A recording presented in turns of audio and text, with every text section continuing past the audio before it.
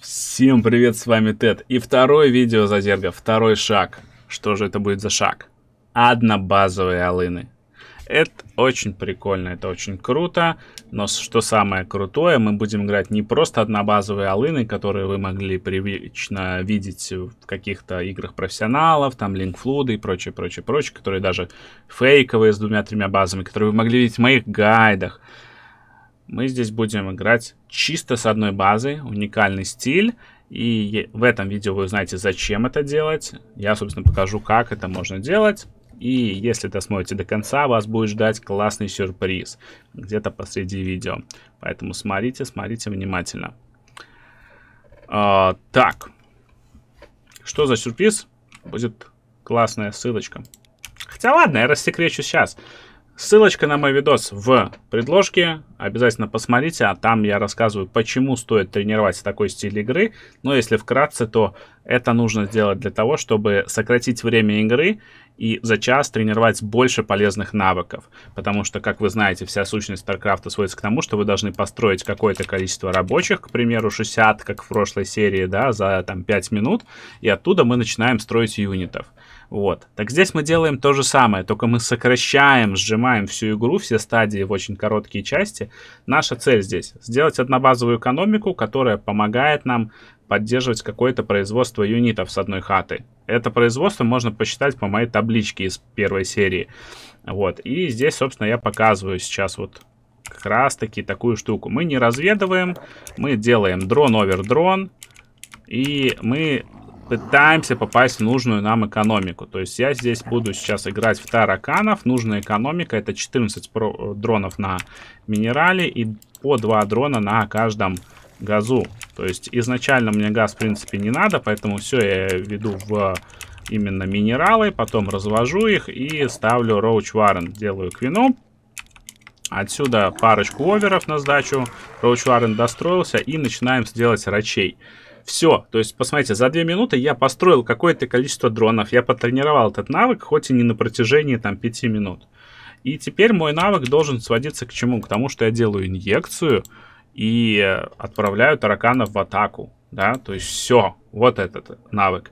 И суть в том, что в длинной игре вы будете делать то же самое, такое умноженное на 3, на 4, да, в зависимости от того, сколько у вас квин, сколько у вас хат. Если 3 хаты, то вы делаете 3 инъекции, и вы заказываете с трех хат тараканов, то есть если с одной я заказываю 5 штук, с трех 15. Вся разница, да? И здесь мы тренируем этот навык, это важный навык, в этом вся суть. Это будет не самый выгодный билд, вы им, возможно, будете проигрывать, это нормально. А, самое главное понять, что вы тренируете навык. И это вот, э, ну, самое основное, и вот сейчас вы в режиме тренировки. Следите за инъекциями этой квины, продолжайте строить тараканов, оверов как надо. Здесь оверов я поднастроил, поэтому только тараканы. Вот как бы закончилось этот производство личинок, сразу же новая инъекция.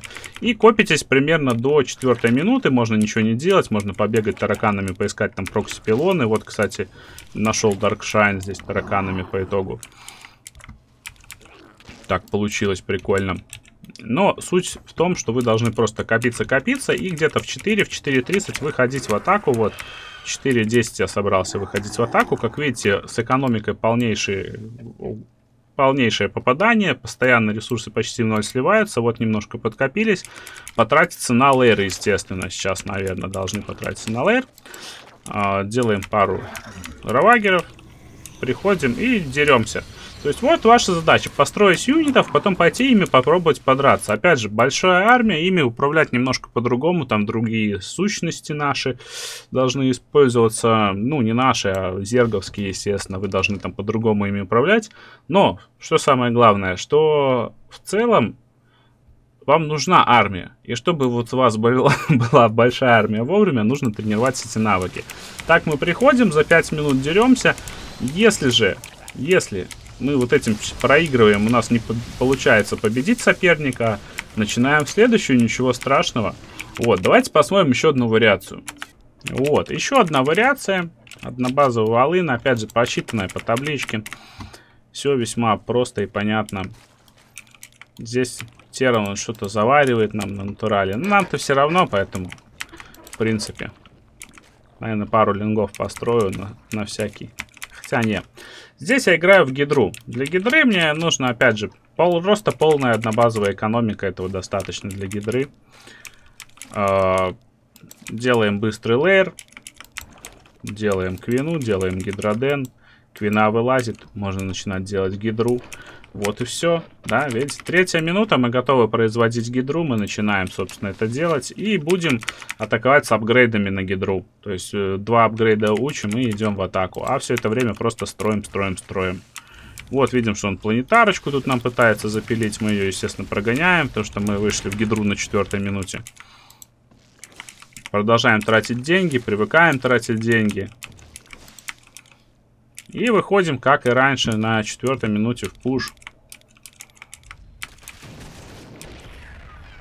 Все, приходите на пятой минуте. Да, это не страшенное войско, но суть в том, что вы просто привыкаете производить юнитов. Как это выглядит все.